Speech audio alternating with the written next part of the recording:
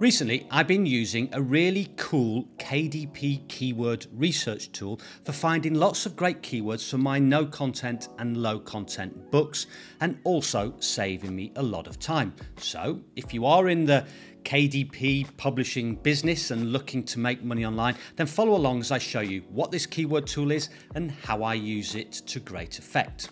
Now, if you've not been to this channel before, then welcome. My name's Paul Marles and I do videos on how to make it, keep it and grow it.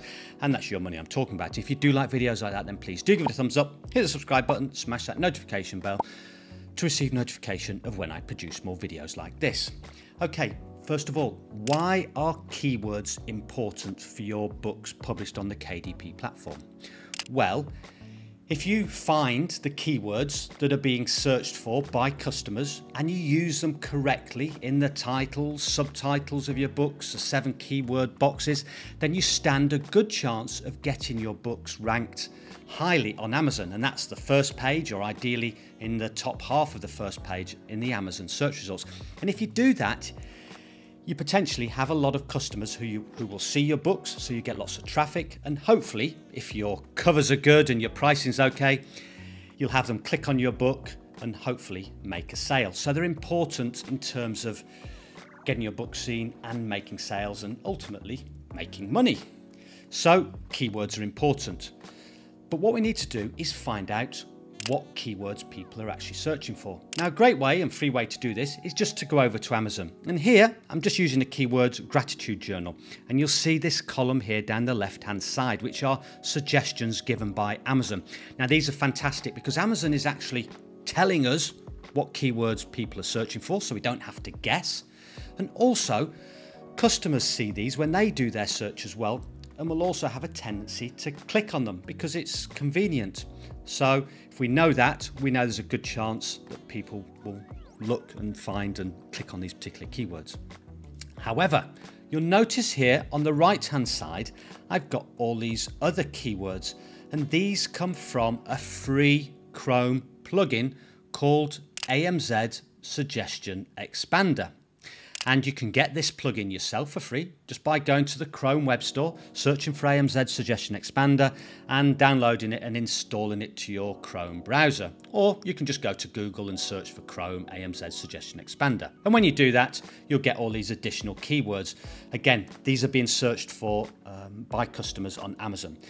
And you can go ahead and put these all down manually into a spreadsheet. However, AMZ Suggestion Expander have recently been offering the Pro version, which I started using a couple of months ago.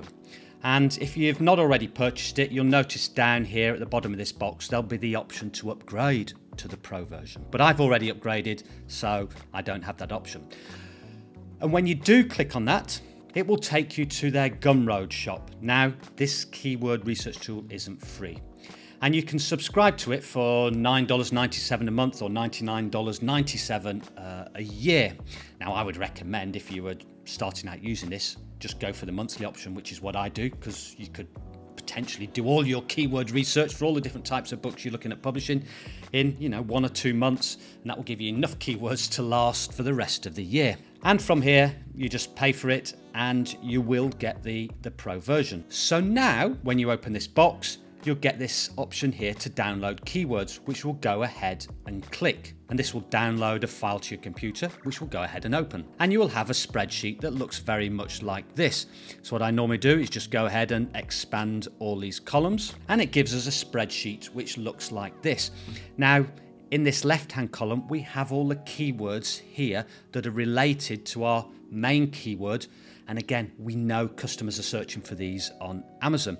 And you can get quite a lot of keywords. In this case, I think there's 290. Now, you may find there's some keywords in here that don't relate to our main search keywords, so they're not applicable, so you can just ignore them. In this second column, we've got monthly searches. Now, this is the approximate um, monthly searches that people are doing on Google for this particular keyword, which is useful. And we've got these other columns here. We can link to the page for this keyword on Amazon.com, Amazon UK, Amazon Ger uh, Germany, and we can also open the search page on Google or click on this column here for the Google Trends. So I'll just go ahead and show you what this looks like. So here you can see we can look at how often or the trend for the searches for this particular keyword on Google. And you can do this for 12 months or five years.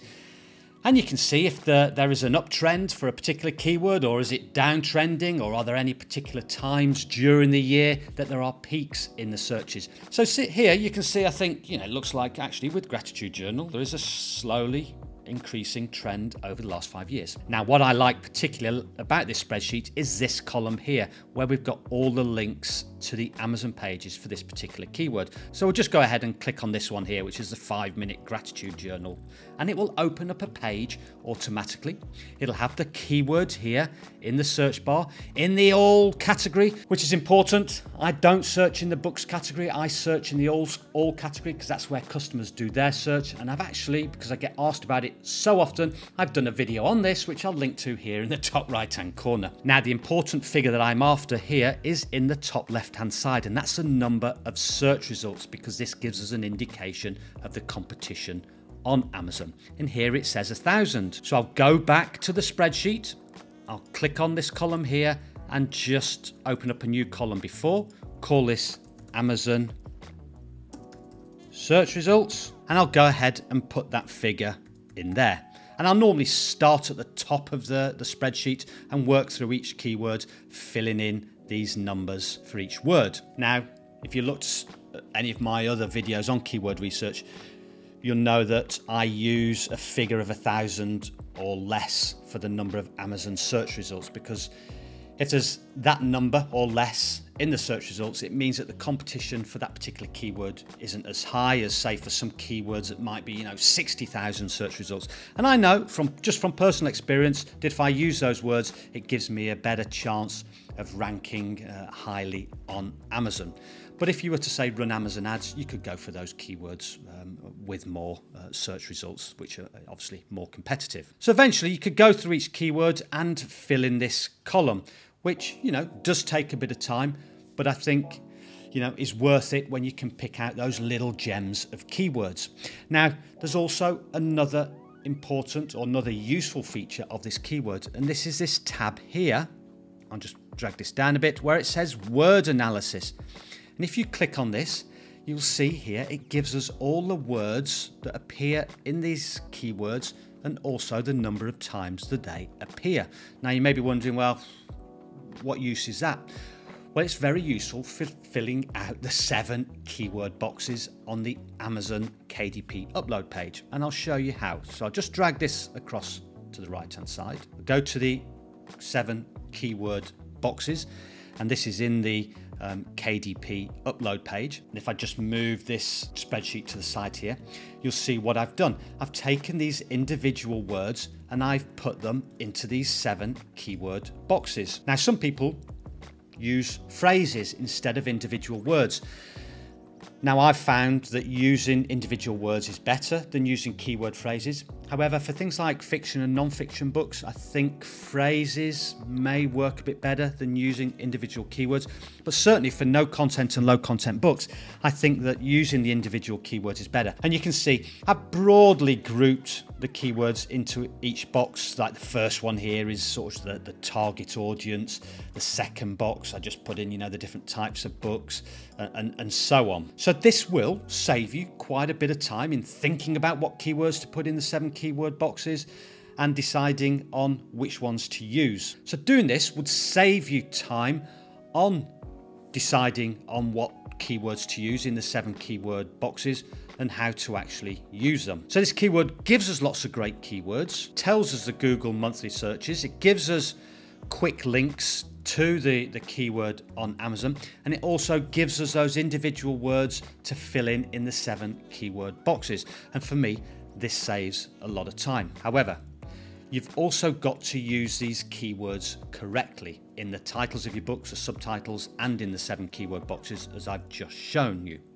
And if you want to know how to do that, then I've done a video specifically on that, which I'll link to here, which shows you how I use keywords in those areas to get my books ranked highly and to make sales.